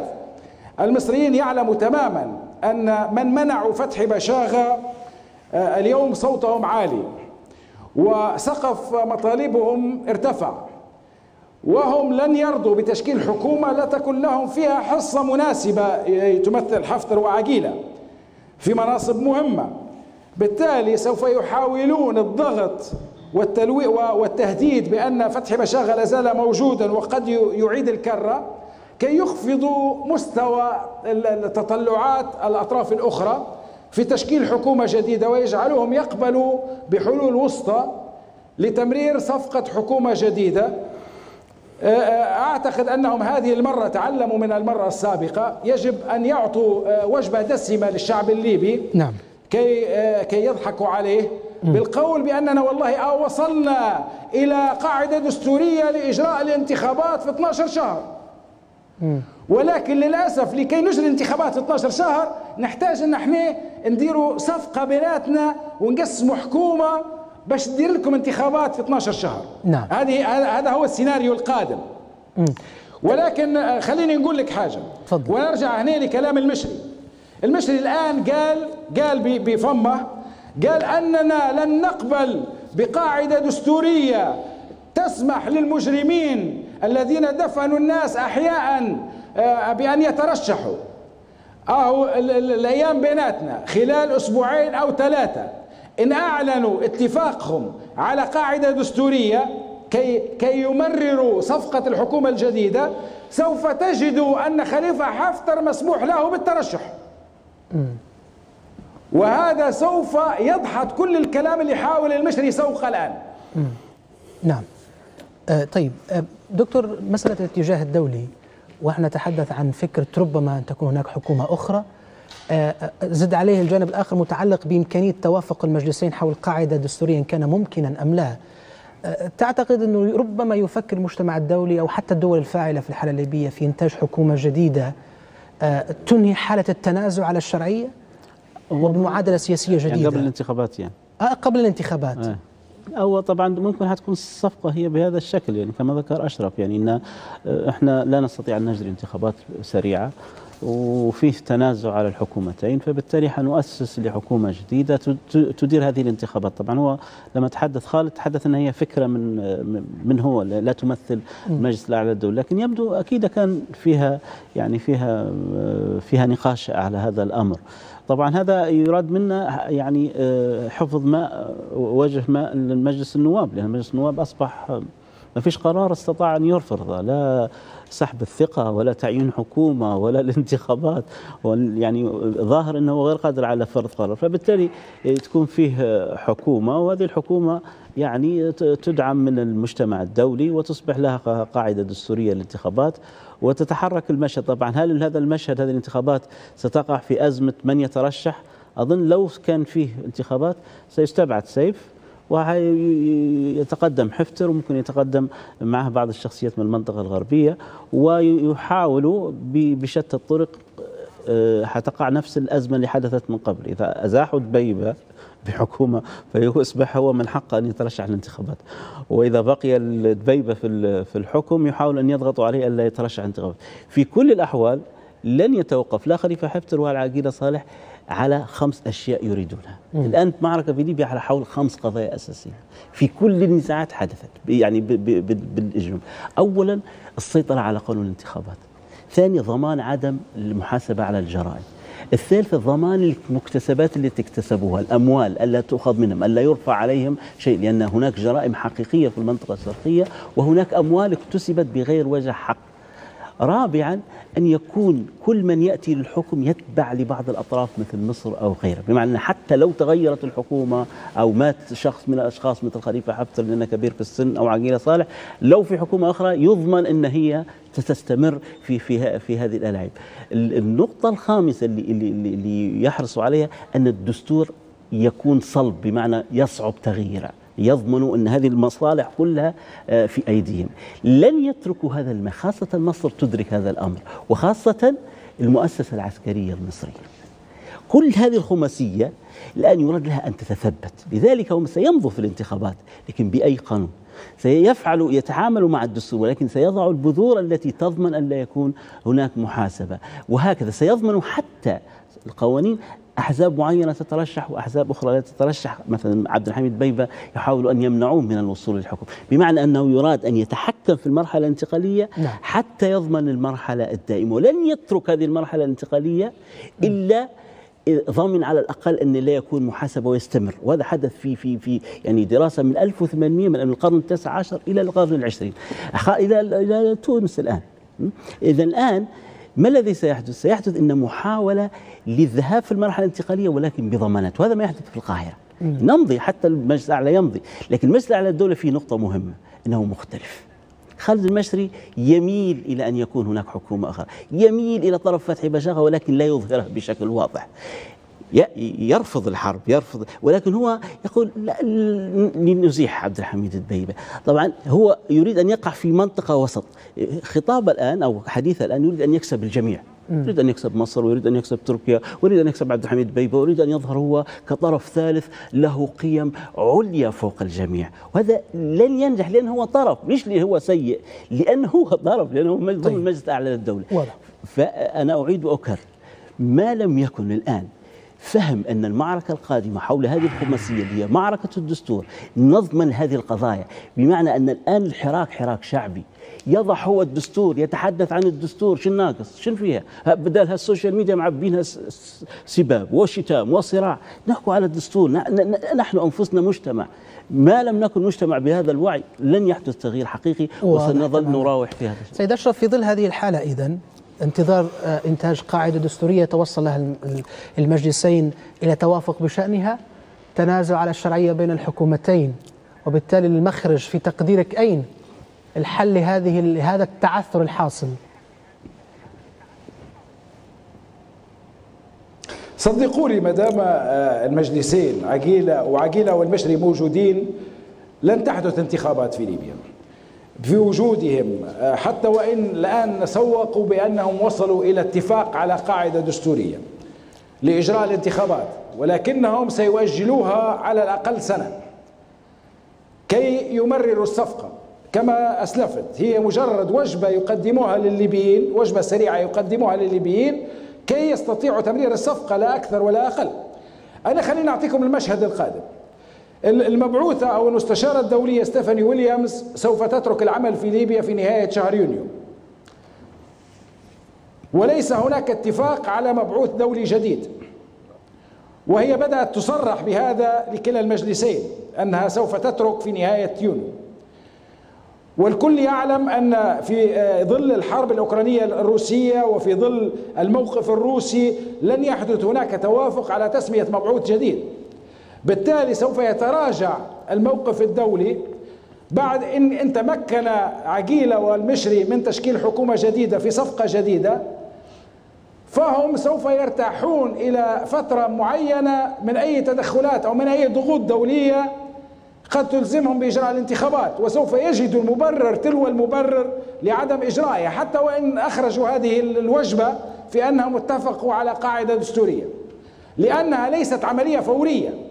لأن الانتخابات إن, إن قالوا أننا سوف نتفق على قاعدة دستورية في خلال أسبوعين وسوف تجرى الانتخابات في خلال شهر أو شهرين لأن كل إجراءات الانتخابات جاهزة. المفوضية جاهزة الناخبين استلموا بطاقاتهم. كل شيء جاهز لإجراء الانتخابات. وهم اتفقوا على قاعدة دستورية. يقول لي والله ما هو في ظل وجود حكومتين إحنا والله العراق لأن العراق والله شفتوا داروا داروا برلمان ولكن ما قدروش يديروا حكم. هذا كلام فارغ.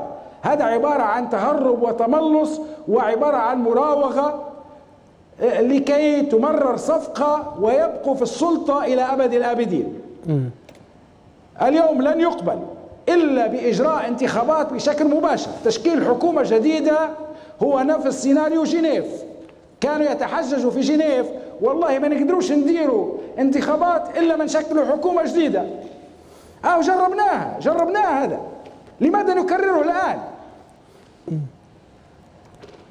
نعم شكرا جزيلا لك. المستشار السياسي الأسبق للمجلس على الدولة سيد أشرف الشح كنت معنا عبر الاقمار الصناعية من طرابلس. كما أشكر ضيفي هنا في الاستوديو مدير مركز بيان للدراسات الدكتور نزار كريكش. الشكر موصول لكم مشاهدينا على طيب وكرم. المتابعه دمتم بخير.